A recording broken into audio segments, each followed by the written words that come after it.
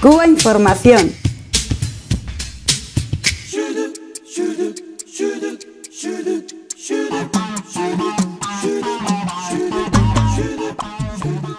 Vamos a arrancar nuestro programa hablando del 68 periodo de sesiones de la Asamblea General de la ONU, que nos ha dejado pues intervenciones muy interesantes y donde la América Latina, los presidentes latinoamericanos han jugado un papel muy importante y muy interesante. Así que le paso la palabra a mis compañeros para hablar sobre este tema.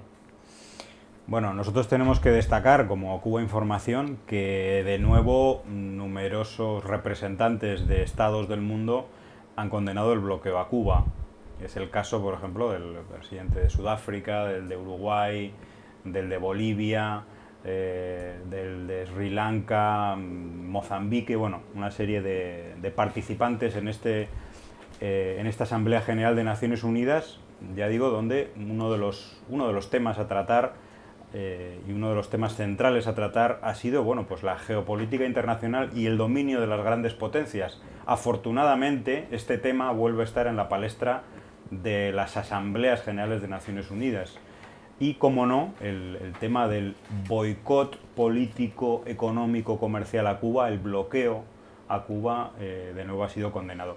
Pero si hay que resaltar algo es, de alguna manera, el papel que han tenido determinados presidentes, presidentas de, países de América Latina, denunciando bueno, pues las nuevas formas de coloniaje e intervención de, Estados Unidos, del imperialismo en los asuntos de tantos países del mundo. ¿no? Eh, mencionando el caso de Siria, pero mencionando sobre todo, y hay que recordar ahí la intervención de la presidenta de Brasil, Dilma Rousseff, o de la presidenta argentina, eh, Cristina Fernández, mencionando el tema del espionaje masivo de Estados Unidos, de, los, de las agencias de inteligencia, que ha sido eh, bueno, desvelado hace ya unos meses por el ex analista de la CIA, Edward Snowden. Esto ha sido, de alguna manera, Mm, bueno, uno de los temas centrales en esta Asamblea General de Naciones Unidas. Y en cuanto, bueno, y entre muchísimas cosas que se podría destacar, mm, eh, yo destacaría la intervención de la presidenta de Argentina, que mencionaba muchos, muchos asuntos internacionales, pero mencionaba el tema de Siria, ¿no? y, eh, y hacía un análisis, una reflexión muy interesante. Decía, más del 99% de todas las víctimas civiles en el conflicto eh, civil, de, en la guerra civil en Siria, han sido por armas convencionales que son fabricadas precisamente en las grandes potencias y sobre todo en Estados Unidos. ¿no? Y ella se preguntaba quién, quiénes, eh, por ejemplo, arman a los rebeldes, venden armas a, uno de los bandos, etc. Y mencionaba este dato, el 99,9% de los muertos son por, por, estas armas. Y curiosamente el motivo de intervención aducido por Estados Unidos y por los países aliados de Estados Unidos es el de la supuesta utilización de armas químicas que ni siquiera se sabe todavía eh, o no está probado quién las ha utilizado. Es decir, uno, cada bando eh, acusa al contrario. Bueno, pues me quedo un poco con esta, con esta reflexión de Cristina Fernández. Muy buenas noches a todas las amigas y amigos que están en sintonía con nosotros. Brillante el discurso de la presidenta argentina. Eh, uno de los discursos, yo creo, más mesurado, fuerte y que tiene que ver, abordó varios campos, campos eh, medulares, cruciales de la actualidad, no solo latinoamericana, particularmente argentina, sino global. Y efectivamente ella preguntó de que, cuál es la diferencia entre un muerto eh, producto de, un ataque con armas químicas y un muerto producto de los ataques con armas convencionales. Y por qué si preocupa tanto la vida humana y los derechos humanos no hace dos años atrás no se tomaron medidas para eh, evitar el, tráfico de armas como está ocurriendo y el suministro de armas a los grupos rebeldes. No, no es un conflicto civil lo que hay ahí, sino son, hay más de, eh, más de 70, entre 70 y 80 grupos, incluidos eh, grupos de Al Qaeda, que están eh, como mercenarios también en ese, participando en ese conflicto. Es decir, hay una enorme hipocresía y se vio bien claro en esta, por lo menos en este inicio de este 68 periodo de sesiones de la Asamblea General de Naciones Unidas. Las posturas de, la potencia imperialista y la postura de los presidentes que representan a los pueblos, la mayoría de los pueblos eh, del mundo. Y hay que señalar que hay un cambio realmente eh, de época en América Latina porque se han alzado voces importantísimas en ese foro, como es la de Dilma Rousseff, presidenta de Brasil, la misma Cristina, Evo Morales y los, que, los mandatarios que faltan por, intervenir, eh, los miembros del ALBA, sea Ecuador, eh, Nicaragua, Cuba, Venezuela, que hablarán claramente cuál es la realidad, cuál es la verdad y decirle al imperialismo norteamericano que se acabó.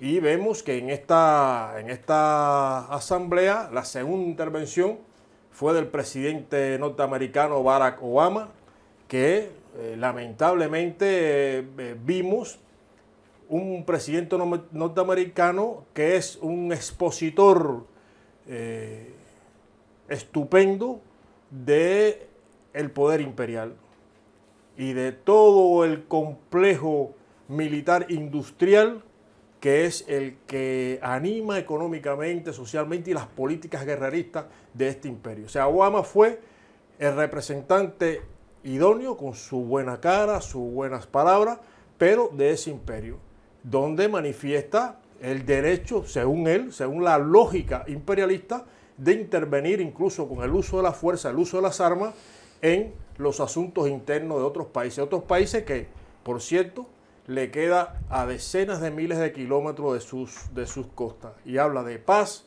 habla de democracia, habla de, libertad. Y a estas palabras, pues, eh, fueron refutadas por la extraordinaria también brillante intervención del presidente boliviano Evo Morales. O sea, es un, es un el discurso de Obama, el discurso del máximo representante del imperialismo, eh, un discurso plagado de contradicciones y absolutamente cínico. No aporta nada y sencillamente estamos en un momento donde la comunidad internacional, sí, representada por los 193 países de la Asamblea eh, General de Naciones Unidas, es el que tiene que aunar esfuerzos y fuerza para decirle a Estados Unidos que no puede continuar con eh, su auto, su talante, podemos decir, de gendarme mundial. No puede seguir siendo el sheriff del mundo y, eh, e intervenir en los asuntos internos de otros países, al, incluso al margen de la, legalidad, de, la legalidad internacional, al margen de resoluciones del, Consejo de del, Consejo sí, de, Naciones Unidas, del, del, ¿cómo se llama? El, Asamblea General. sí, la Asamblea General. El Consejo de Seguridad. Y, de, sí, bueno, el Consejo de Seguridad lo utilizan también a su antojo. O sea, el Consejo de, Seguridad de Naciones Unidas en estos momentos, y hace muchos años, en estos momentos es un rehén de las políticas eh, de Estados Unidos. Afortunadamente en este Consejo tiene, eh, se ha frenado un poco la pretensión eh, de Estados Unidos por el veto o la oposición de China y Rusia, que tienen también derecho a esto. Pero bueno, se ha manifestado como algo que hay que solucionar, que no responde a las necesidades globales de los pueblos y para ello, bueno, las voces de presidentes latinoamericanos y africanos también, dentro de las cuales eh, me gustaron varias que condenaron el bloqueo, esta política de agresiva, criminal, que es el bloqueo económico, financiero y comercial impuesto unilateralmente por estos Estados Unidos a Cuba.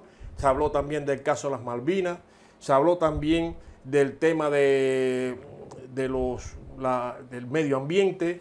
Y hay una cosa también importante, eh, ahí destaco el tema de, de la presidenta Cristina Fernández, cuando habla de que ahora se rasgan las vestiduras el imperialismo y sus lacayos, a sus socios, para atacar, condenar al, como ellos dicen, al régimen de, Siria, pero ella mencionó que los, mayores arsenales de, armas químicas y de armas nucleares de destrucción masiva lo tiene Estados Unidos. No mencionó Estados Unidos, pero evidentemente se refería a ello. y también los que han utilizado armas químicas contra poblaciones civiles y armas atómicas fueron, han sido los Estados Unidos. Es decir, que ahí está el, doble rasero, la doble eh, vara de medir que están utilizando cínicamente las potencias imperialistas. Yo me quisiera quedar con una imagen, eh, no viendo tanto desde el peso mundial realmente de, de este encuentro de las Naciones Unidas, sino ya desde el punto de vista eminentemente latinoamericano. Porque es obvio que en Latinoamérica estamos enfrentando una, eh, un, ataque frontal y directo del imperio, ¿no? A través de los gobiernos que tiene aliados de, Colombia, de Chile, Panamá. Sin embargo, yo creo que espero que esta última reunión, este, este periodo de sesiones, sirvan, si se quiere de alguna manera, como un pistoletazo de salida para que Latinoamérica pueda colocarse un poco nuevamente a la ofensiva. De hecho, yo creo que la primera imagen con la que nos podemos quedar es bastante visual, ¿no? Eh, tomando en cuenta la importancia geoestratégica que tiene Brasil, es muy significativo que aparte del hecho de que Dilma Rousseff decidió cancelar una visita fastidiada por eh, el hecho de que Estados Unidos no haya pedido disculpas por, por el asunto de espionaje, al mismo hecho el hecho que haya sido la primera persona que intervino, que haya remarcado bastante contundentemente que realmente esta es una violación de los derechos humanos, ¿no?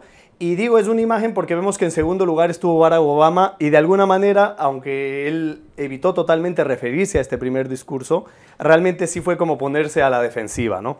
Luego hemos tenido una cantidad de intervenciones eh, importantísimas, se extraña un montón, yo creo que todos extrañamos el aquí huele a, azufre, porque yo estoy seguro que seguirá oliendo azufre, por más bonito que hable Obama, realmente lo que ha hecho es defender el derecho de ellos a ser policías en el mundo, ¿no? Y vemos que inclusive no solo que no hay diferencia, sino que realmente con el legado de, su predecesor, prácticamente Obama es uno de los presidentes norteamericanos que más ejecuciones extrajudiciales a través de los drones y etcétera ha hecho, ¿no? Entonces yo creo que también quedan importantísimos discursos del de Mujica, que realmente se está convirtiendo en una persona con un peso ético, intelectual, que realmente en este foro ha tenido, se ha dado espacio un poco para criticar al sistema en sí capitalista, ha dicho no podemos seguir en un mundo en que todo se fabrica para tirar, en que todo se fabrica para el mercado.